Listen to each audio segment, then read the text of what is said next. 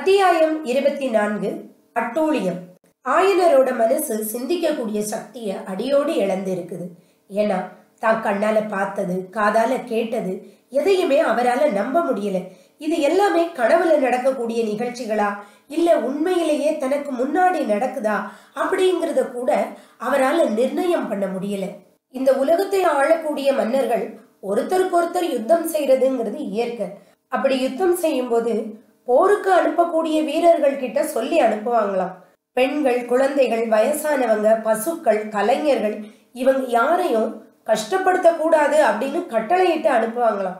ஆனா சாம்ராஜ்யம் ஆளக்கூடிய சக்கரவர்த்தி ஒருவர் தம்முடைய படை வீரர்களுக்கு சிற்பியின் கைகளையும் கால்களையும் வெட்டுங்க அப்படின்னு ஆணையிடுறது நடக்கக்கூடிய சம்பவமா? அந்த மாதிரி கட்டளையிடக்கூடிய ராட்சசர்கள் ராஜ்ய சிம்மாசனத்தில் ஏறி வீற்றிருக்க முடியுமா? அந்த நாட்டின் மக்கள் அதெல்லாம் ஏத்துக்கிடுவாங்களா? அதிலும் புலிகேசி சக்கரவர்த்தியா அப்படிப்பட்ட ஒரு கட்டளையை பிறப்பித்திருப்பார். எவருடைய ராஜ்யத்தில் உலகத்திலேயே இல்லாத கலை அதிசயங்கள் என்றும் அழியாத வர்ணங்களில் தீட்டப்பட்ட அற்புத ஜீவ சித்திரங்கள் உள்ளனவோ? அந்த ராஜ்யத்தின் மன்னரா அப்படிப்பட்ட கொடூரமான கட்டளையை இட்டிருப்பார். இப்படி ஒரு கொடூர கட்டளையை இட்டிருப்பதாக அந்த தளபதி கூறினாரே அது உண்மையா இருக்க முடியுமா? அவன் சொன்னதை கேட்ட உடனே என் பொண்ணு சிவகாமி மயங்கி விழுந்தாள. அவளை பிடிக்கிறதுக்காக நான் ஓடுனேனே. அந்த நேரத்துல இந்த வாதாபி வீரர்கள் தங்களுடைய இரும்பு கரங்களினால் என்னை பிடிச்சு இழுத்துட்டு வந்தாங்களே. அதுக்கப்புறம் தானே அந்த தலைவன் சொன்னான் அந்த பாறை முனைக்கு கொண்டு போய் இவரோட கையவும் காலையும் வெட்டி உருட்டி விடுங்கன்னு. இது எல்லாம் உண்மைதானா? அப்படின்னு தனக்குத்தானே கேட்டுட்டு வராரு. பாறை மேல தள்ளாடி ஏறக்கூடிய ஆயனர் நினைக்கிறாரு. தான் ஏறுறது இப்படி தள்ளாடி நடக்கிறது இது எல்லாமே தன்னோட கனவுல தான் நடக்கு. இது கண்டிப்பா பிரம்மதான் அப்படின்னு நினைக்கிறாரு. இது ஒரு நாள் உண்மையா இருக்க முடியாது அப்படின்னு தனக்கு தானே சொல்லிக்கிறாரு. ஆனா எனக்கு எதிரால தெரியுதே காஞ்சிக்கோட்டை. இது கூட பொய்யா? இல்ல இல்ல. காஞ்சிக்கோட்டை இருக்கிறது உண்மைதான். தன்னை பாறை முனையில் கொண்டு வந்து நிறுத்தி இருப்பதும் உண்மைதான். இதோ இந்த ராட்சசர்கள் தன்னோட கைகளை பிடிச்சுக்கிட்டு இருக்கிறது கூட உண்மைதான்.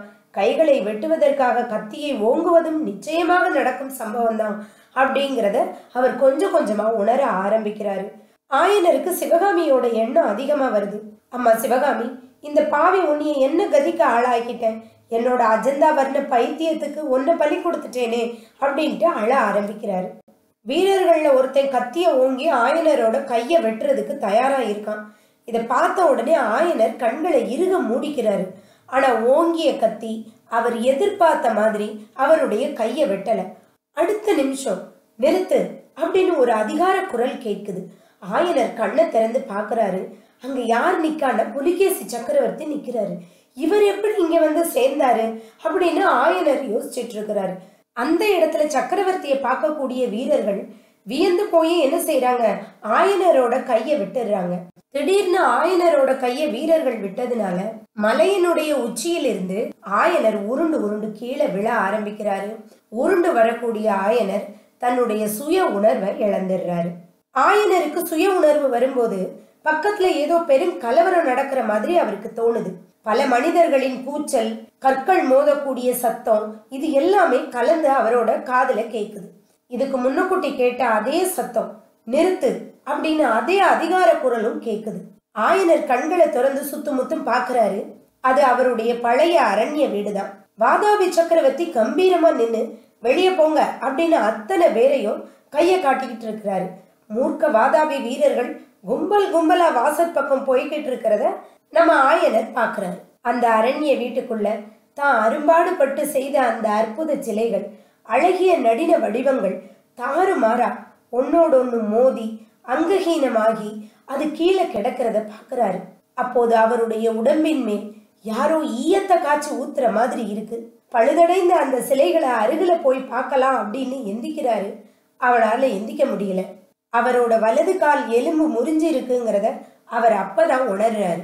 ஆயனரை பார்த்த உடனே அவரோட தங்கச்சி அழுதுகிட்டே பின்கட்டிலேருந்து ஓடி வந்து ஆயனரோட பக்கத்துல உட்காடுறாங்க பாவம் கொஞ்ச நேரத்துக்கு முன்னுக்குட்டி அந்த சிற்ப கிரகத்துல வாதாபி வீரர்கள் செய்த அட்டகாசங்களை எல்லாம் பார்த்து அந்த அம்மா பயந்து போய் உக்காந்துருக்கு. எல்லா வீரர்களும் வீட்டுக்கு வெளியே போனதுக்கு அப்புறம் வாதாபி சக்கரவர்த்தி ரொம்ப சாந்தமா நடந்து வந்து ஆயனர் இருந்த இடத்துக்கு பக்கத்துல வந்து உட்காருறாரு ஆயனர் உடனே பேச ஆரம்பிக்கிறாரு. பிரபு தங்களுடைய வீரர்கள் இந்த மாதிரி அட்டூழியங்களை செய்யலாமா அப்படின்னு கதற ஆரம்பிக்கிறாரு. ஆயனரோட இந்த கேள்விக்கு வாதாபி சக்கரவர்த்தி என்ன பதில் சொல்றாருங்கிறத நாளைக்கு கேட்போம்.